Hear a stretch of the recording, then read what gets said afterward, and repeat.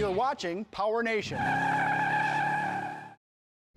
Today on Engine Power, we find a home for one of our all-time favorite engines.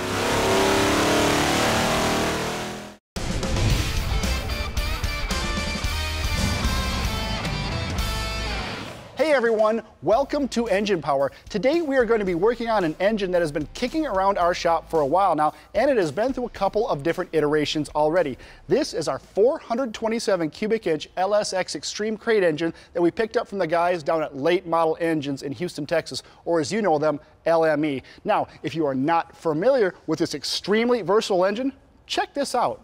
It started with an LSX block loaded with race-ready components and it was rated for up to 2,000 horsepower, so we knew it could handle anything we threw at it. The heads were a custom LS7 6-bolt CNC ported design with two 250 titanium intake valves and one 600 Inconel exhaust valves. Heavy-duty Manley 3 8 push rods and stainless steel Crower 1.8 ratio rockers took care of the valve train. LME's billet aluminum LS7 intake manifold came next.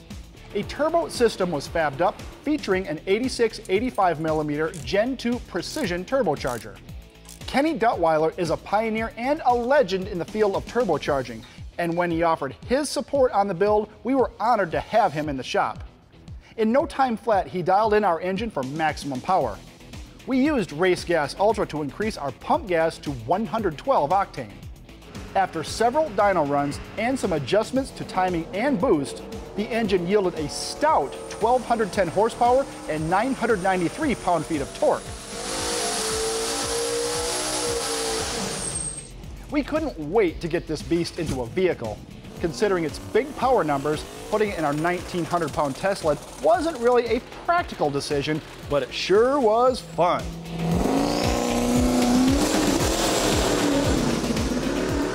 Several months later, the Detroit Muscle team showed up with a 73 Javelin in nice shape. They were looking for more power from a modern engine, and we suggested the 427. To meet their power requirements, we set up the engine in a naturally aspirated configuration. It produced 647 horsepower and 548 pound-feet of torque on pump gas. After the AMC fans brought out their torches and pitchforks, Detroit Muscle wisely decided to use their original 304 for their project. For the moment, our 427 lacked a home. Recently, the crew from Music City Trucks found themselves behind the wheel of a Jeep Trackhawk with wide grins on their faces. Lacking the funds to buy their own, they concocted a plan to build one themselves. They asked us to take care of the engine. One of their big requests, a supercharger. In order to get this engine back to its boosted form, but also have it fit in the application, we went with a root style supercharger from Summit Racing. This is a Magnuson that was built to order for us and is normally found on a C6 Corvette with an LS7. We also had to get a stock front LS7 accessory drive, and since the engine was carbureted before, we had to get a throttle body and a standalone ECU and wiring harness to run on the dyno and in the vehicle. But before we can see all that horsepower made out of the dyno, we have to get it all bolted to the engine. So, to the assembly area.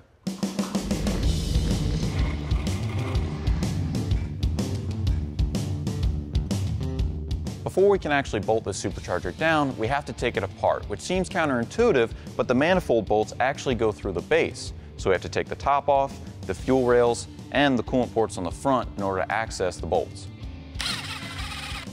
After unbolting the fuel rails, we can gently lift them away from the fuel injectors.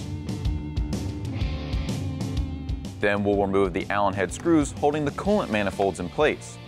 They have a tight O-ring seal, so we'll go slow and easy sliding them out.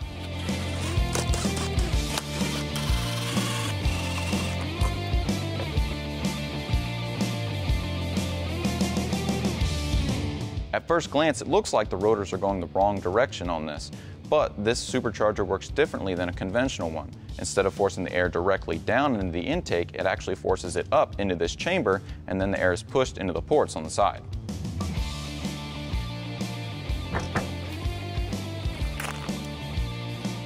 Before we install the supercharger, the steam vent line supplied with the system bolts into place. Also included in the kit are Cometic intake gaskets. They are required for proper fitment of the supercharger. Since the intake manifold bolts are inaccessible after the supercharger is installed, Blue thread locker is applied before tightening them. They are torqued in sequence to 106 pound-inches. Yes, pound-inches. The lid bolts also receive thread locker and are likewise tightened to 106 pound-inches.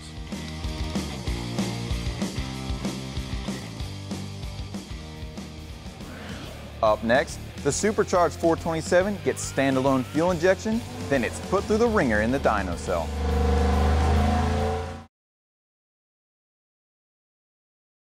The pistons in your engine have to go through millions of combustion cycles in their lifetime, so it is critical to choose the right ones, and there are several styles to pick from. Dished pistons are often found in lower compression factory engines, as well as boosted builds where lower static compression is needed. Flat top pistons with valve reliefs are common in naturally aspirated power plants with higher static compression ratios and minimal valve clearance. Domed pistons are great for very high compression engines or engines with an open combustion chamber, like a Hemi. Modern pistons are normally constructed of aluminum, but there are a few different ways that they're made. Casting is a quick and affordable method to produce pistons that have a long service life in lower performance applications. Cast pistons often are made from a hypereutectic alloy where the high silicon content gives them more scuff resistance at higher operating temperatures. Forging is similar to casting, but the piston undergoes an additional process where it is forced into a final shape over a die, giving it even more strength. Forged pistons work great in high-powered engines which experience the toughest operating conditions. With any piston, the specific type of alloy used determines the hardness or ductility of the piston. Most factory applications and engines under 400 horsepower typically press fit the wrist pin into the connecting rod. Normally, this is done at a machine shop because it requires specialized equipment and experienced professionals to ensure a good result. Spiral locks and circlips are used when the wrist pin floats in the connecting rod and can be installed at home with simple hand tools and a fair amount of patience. As you can see, you've got lots of options when it comes to choosing pistons. Summit Racing Equipment can help you find the right pistons for your engine. Our supercharged LSX 427 continues with our ATI harmonic dampener that we got from Summit Racing Equipment. It's SFI approved, has integral serpentine pulleys, and a provision for a crank keyway.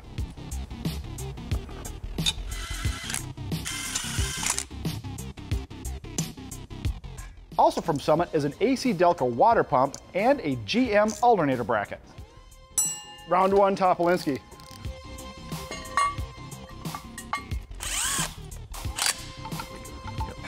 Hey, do you know why uh, bees' hairs are sticky? No, what? Because they use a honeycomb.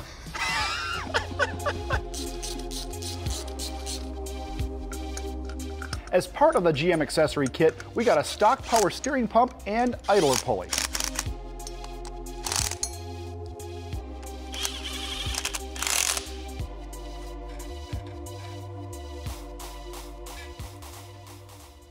To control the port fuel injection and ignition system on our supercharged 427, we went with a FiTech Ultima LS standalone ECU kit. This is a self-learning system that replaces a factory ECU and has all the capabilities you would need for a street or performance engine. It works with any Gen 3 or Gen 4 LS engine with a 24 or 58 tooth reluctor and has outputs for cooling fans, a tachometer, speedometer, and a fuel pump. The kit comes with a custom plug-and-play wiring harness, a handheld touchscreen controller with a windshield mount, an oxygen sensor, and a 3-bar map sensor for boost levels up to 30 psi. The nice thing about this system is that it is self-learning and any additional tuning you want to do can be done on the fly with the handheld programmer. No laptop needed. And to finish off the system, we also picked up one of their 102 millimeter throttle bodies. For our power level, we needed to swap out the injectors included with the supercharger. We chose a set of DeatschWerks 90 pound per hour injectors. After lubing the O-rings with synthetic grease, the injectors pop into the fuel rails.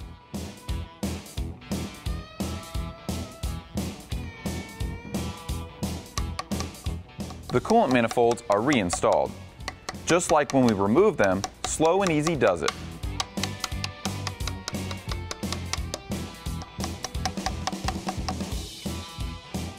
The fuel rails are next.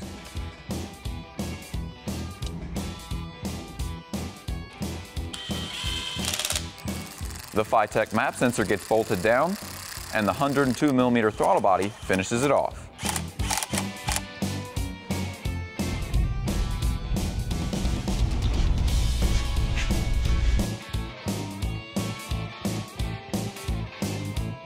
Earl's Performance Plumbing offers adapters to replace the stock push-on style fuel rail connector with an AN style fitting.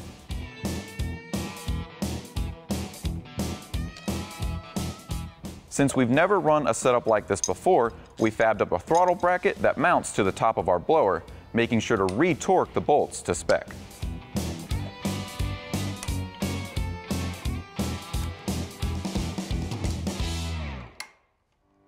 After that, we'll install the wideband O2 sensor supplied with the FiTech system.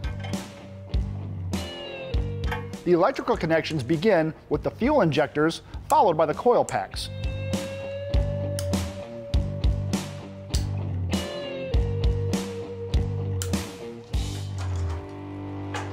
Then we are ready for the plug-and-play wiring harness and the ECU. All the connections are labeled so installation is quick and easy.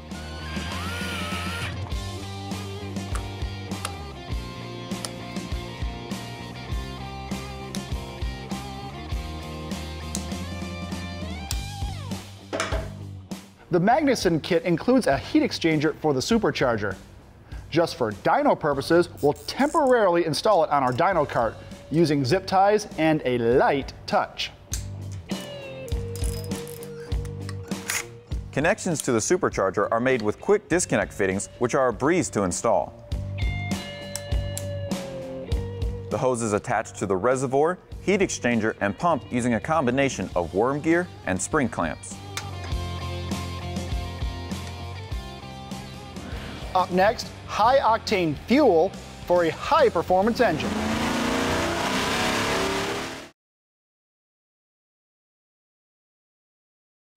We just have a couple of items on our pre-flight checklist, and the LSX will be ready for dyno runs. We have to upload a calibration to the ECU, so we'll go down to Write Cal to ECU and click Enter. And basically what this does is tells the ECU what kind of engine it's working with. There's a couple different options for a 24 tooth or a 58 tooth LS, and then if you're using it to control a transmission, there's two options there for a 4L60E or a 4L80E. We're not gonna run a transmission obviously because it's on the dyno, and since we have such a unique combination here, FiTech's customer service actually hooked us up, and those guys are very helpful, so they wrote us our own custom calibration that will help get us started in the tuning aspect. So we're gonna hit write to, and then that will write that calibration to the ECU. So once it writes it to the ECU, we have to cycle the key. So we'll go up to dashboard, and then we'll turn the ignition off and make sure that all these values disappear. Usually takes about 15 seconds, and there they go. So now we can turn the key back on, and we can go to our initial setup and set up the parameters of our engine. Dang. When we get it all warmed up, first thing we're gonna do is just to make sure that everything is copacetic, let's uh, make a hit from like, well, I'll take it as low as 2,000. I think it'll load at 2,000, like Yeah. 2,000 to 5,000 at like 600 RPM per second, just to make sure our tune-up is in the right Yeah. zone.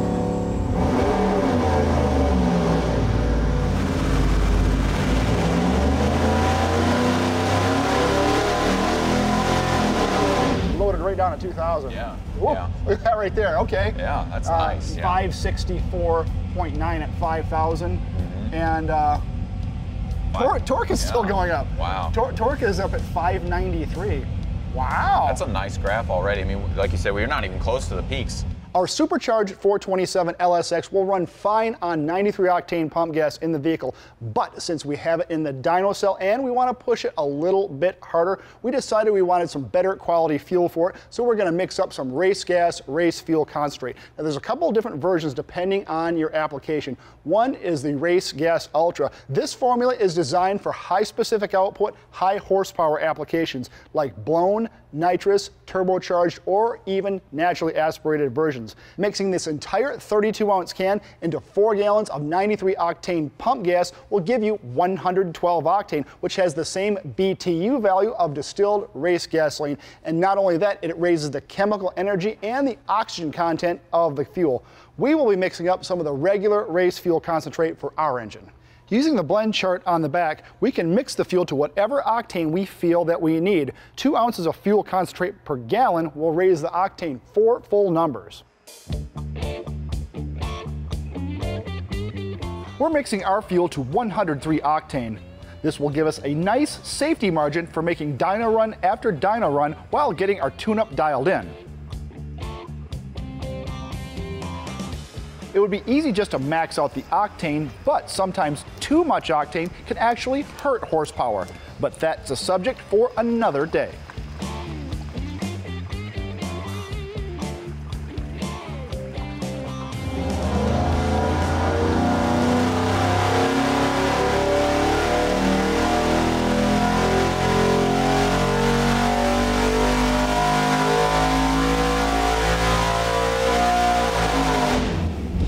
Not bad. 697, 591 for 697, but it's at 7,000, still climbing. Yep.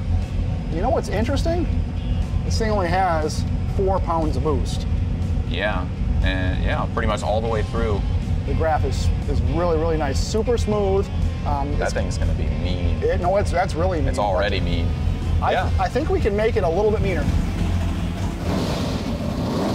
Whether you're doing a basic tune-up or a complete vehicle rebuild, you want the right parts at a great price. RockAuto.com makes that easy.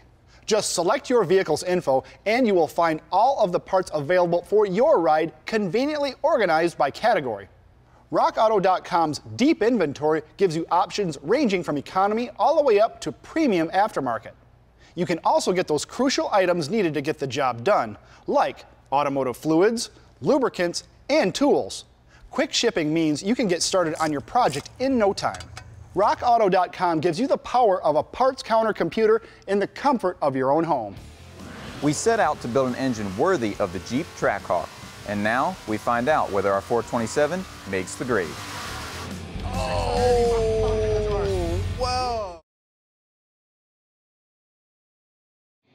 When we ordered our supercharger, we planned ahead and got a smaller drive pulley with the system. To make a little more boost, the 96mm pulley is being swapped out for an 84mm one.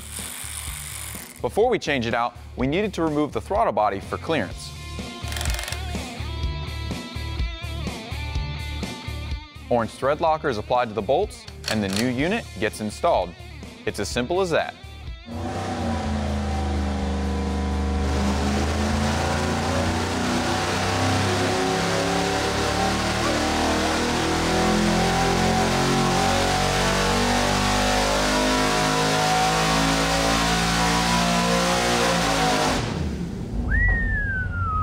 See what I saw? That's some big power right there. That was a huge jump in power. Oh! 788 horse Whoa.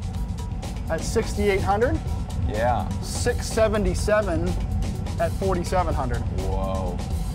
Whew. How much boost is that? Oh yeah. Look there at that. go. Right around six. Six Look- look- one. yep, yep. Hovering around six pounds of boost. That's a huge jump. That's a huge jump. Mark is hard at work getting the Jeep together, but we figured he'd want to hear his engine run. Hey man, come check this out. We've been fuzzing on your project. I know you're down there working on it. Yeah. So we, we- got a little surprise for you here. We uh, for your competition to the factory vehicle, we needed at least to equal the power, right? Right. Well, I think we could do it a little Yeah. better. I think you're gonna like it. I think you're going. It's gonna be good. It originally had a it that produced uh, almost about four pounds of boost, right? Okay. We figured we could uh, we could pump that up a little, so we put a, uh, went from a 96 millimeter to an 84 millimeter pulley. The engine on that uh, whatever that thing is, SRT, has 11 or 12 pounds of boost, so we're not going to be that high. So, but I don't think we need to be that high because Not with this thing. we're going to make a pull from 3,000 to 7,300 a second. So, uh, are, are you ready for some for some goodness here? I'm, I'm ready.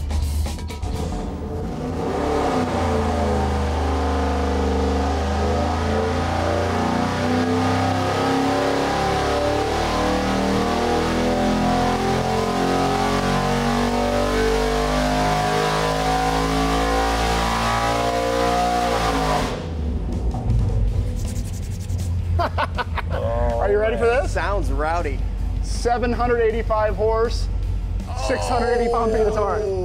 Whoa! That- that- that's smashed not the bad. number. We are, we are, we are Do pretty we, uh, styling on Reach our your goal? Yeah, yeah. I Is that, is that enough? 707.1 would have been enough. Yeah. the part yeah. that gets me is the torque. I mean, look at the torque 650 from 3,500 all the way to 6. Oh, it's just yeah. Over. I mean, that's All the torque, all the nice, time. nice. nice the graph curve. on these, because of uh, you know we have a, a, a very good ECU, we have a very good uh, way of controlling both spark and fuel. Our graphs are really really nice. It's making power where it should. I mean, the, this engine you know, has enough valve train and it has enough good parts in it to make a lot more power and turn it way higher.